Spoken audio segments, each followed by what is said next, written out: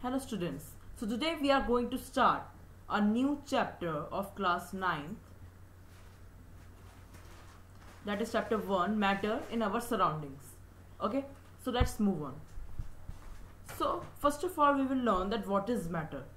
So matter is anything which occupies space and has mass or I can say matter is anything that has mass and volume.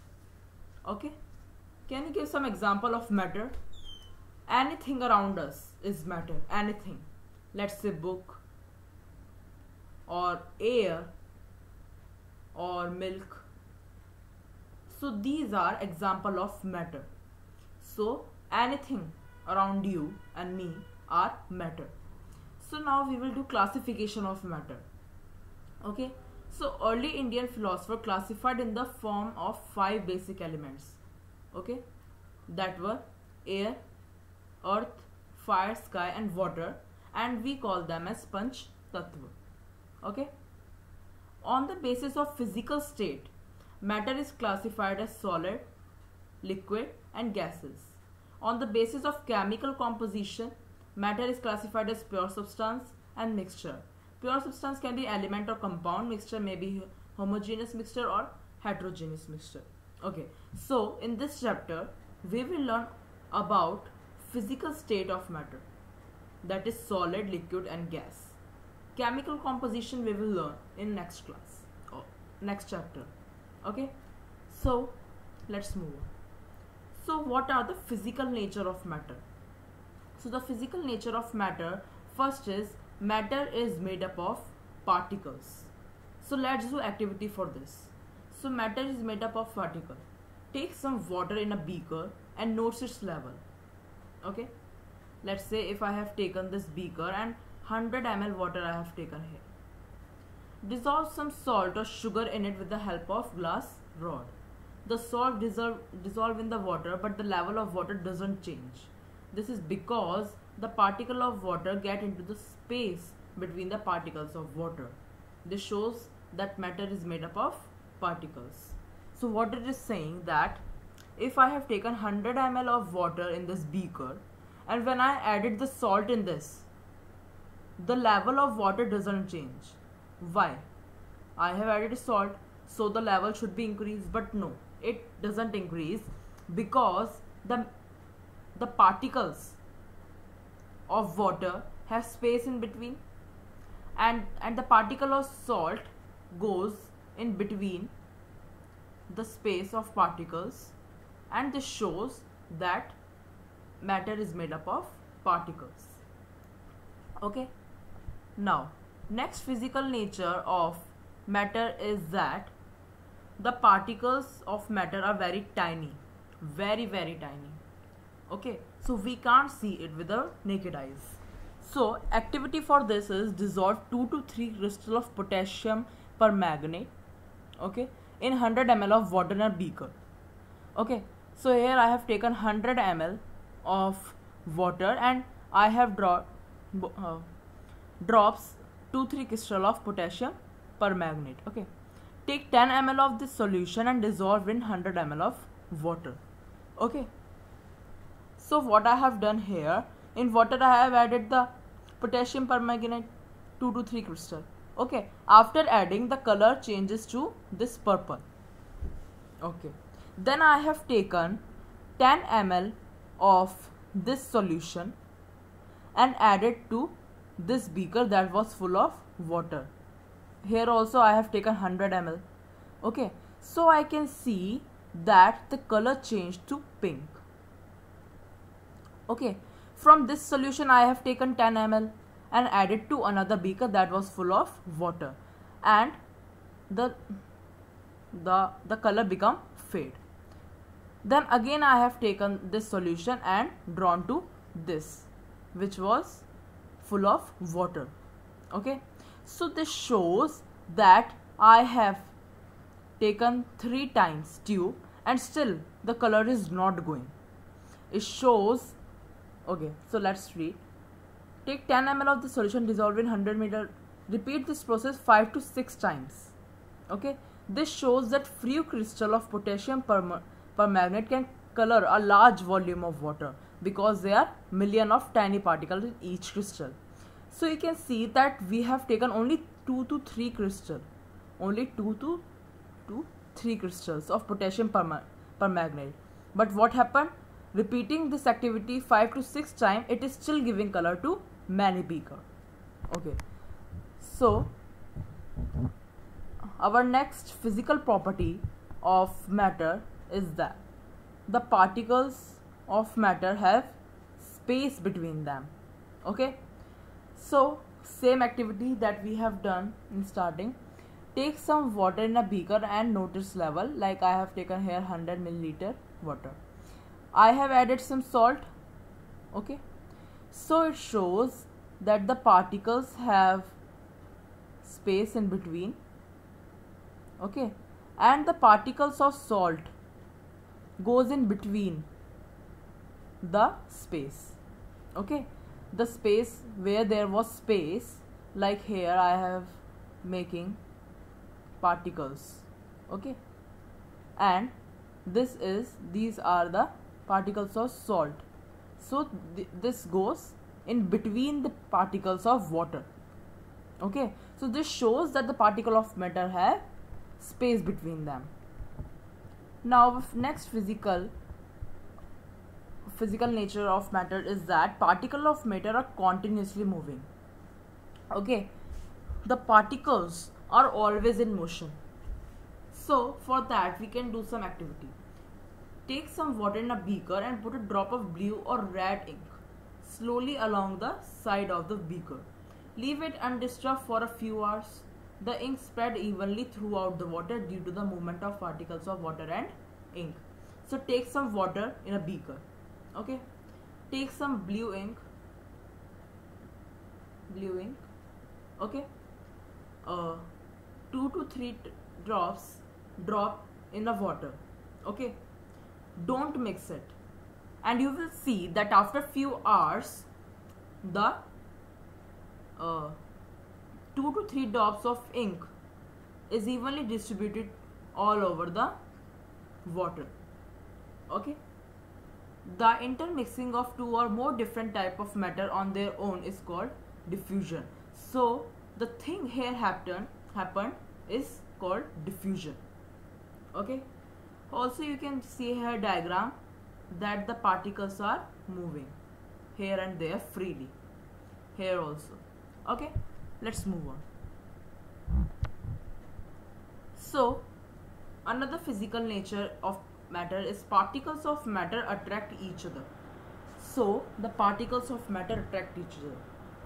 So we can do activity here also. Take an iron nail a piece of chalk and a rubber band. Try to breaking them by hammering cutting and stretching. It is more easier to break the chalk, less easier to break the rubber and difficult to break the iron nail. This is because the particles in the iron nail are held together with greater force than the rubber band or chalk. Okay. So it is saying that we know the particles in solid are tightly packed. Okay i'm not saying that they don't have don't have space in between them but there is very little space in between. Very little space. So there is very little space in between them. Okay? So the force of attraction will be more in solid. Okay? Because they are tightly packed. So more force of attraction will be there because they are very close to each other particles. Okay?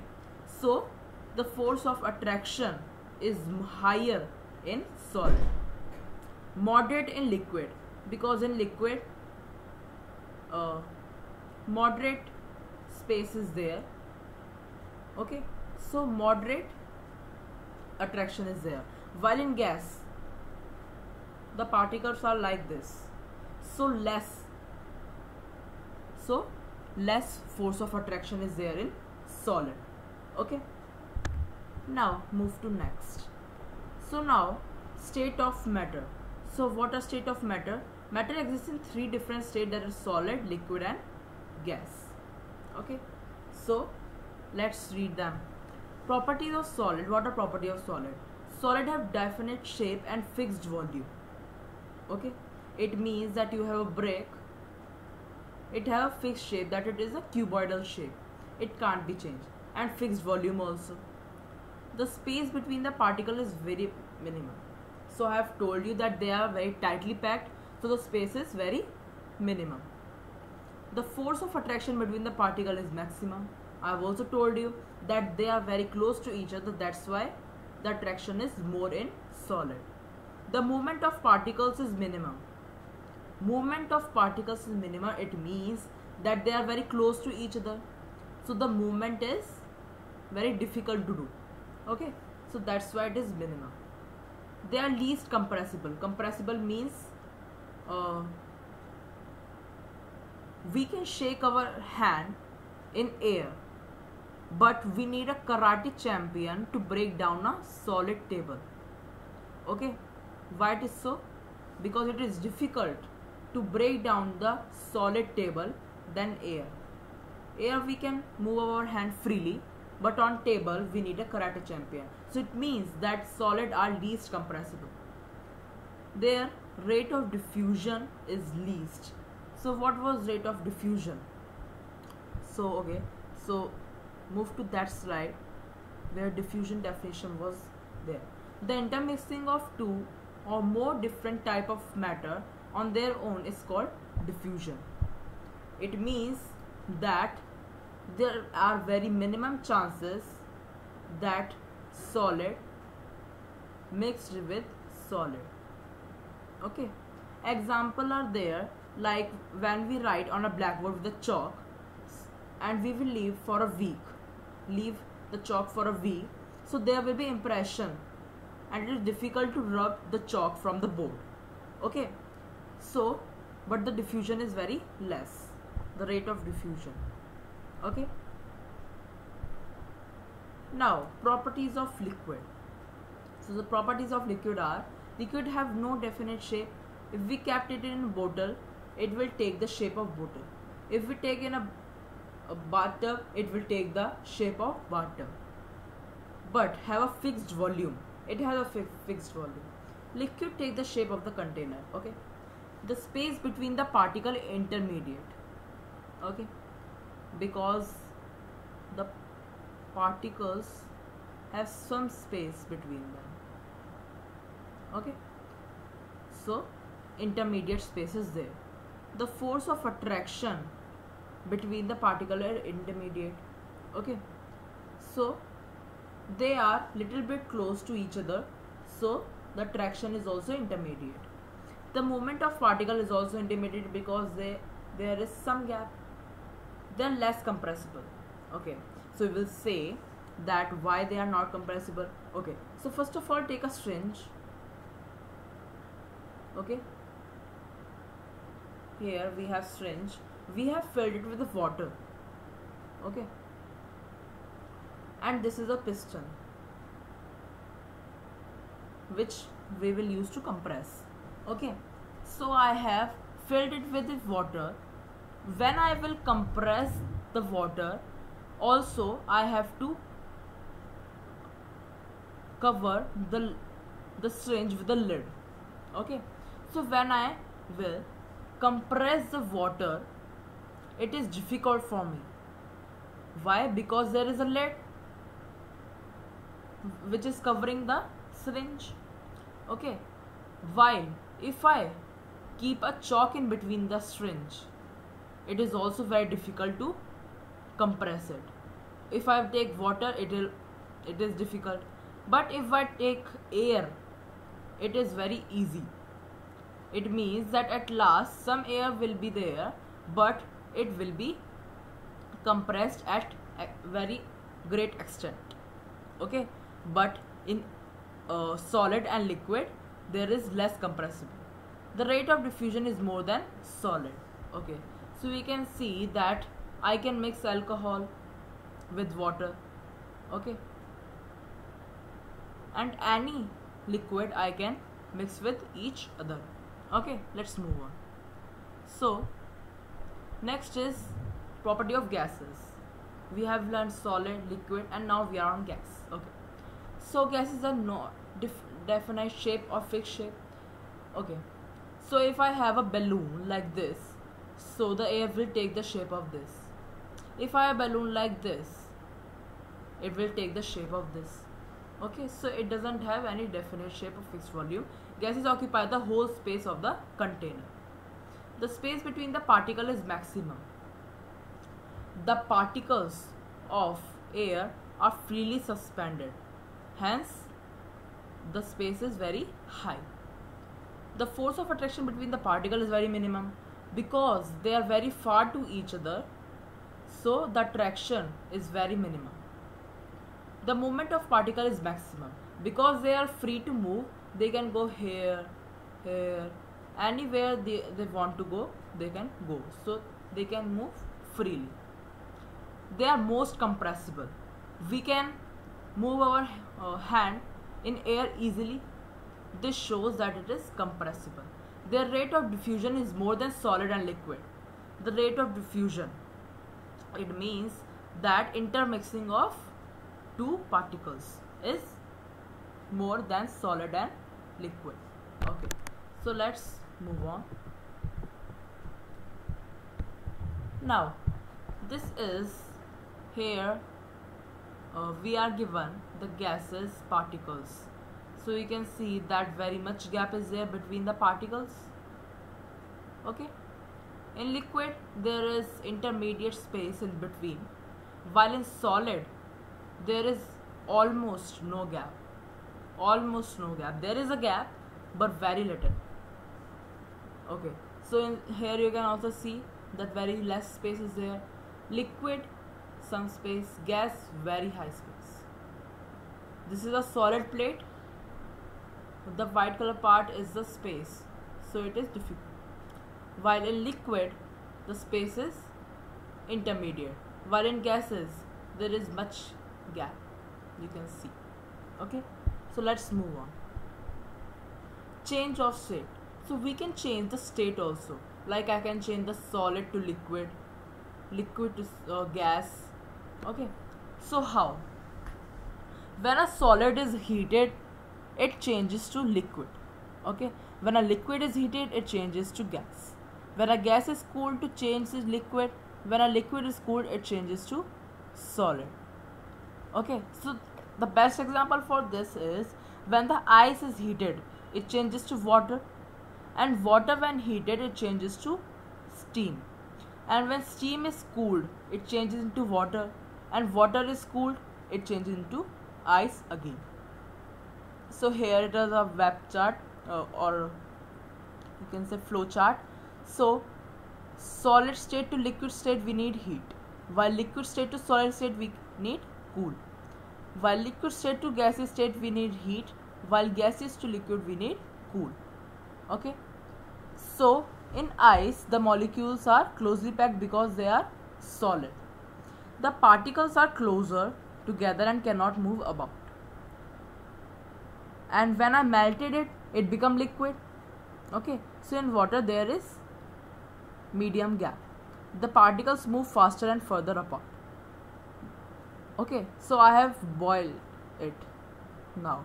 So now it changes to stream so there is a much gap between them. The particles are far apart and move very quickly and randomly. Okay let's move on. Okay. So this is the same thing. The ice has because ice is solid the molecules are closely packed so they can't move about okay while in water it is a liquid okay so the particles move faster than solid while in gaseous state there is much gap so the particles can move freely, very quickly and randomly. We will continue the rest of the part of this chapter in our next video. Thank you all. Please don't forget to like and subscribe my channel. Thank you.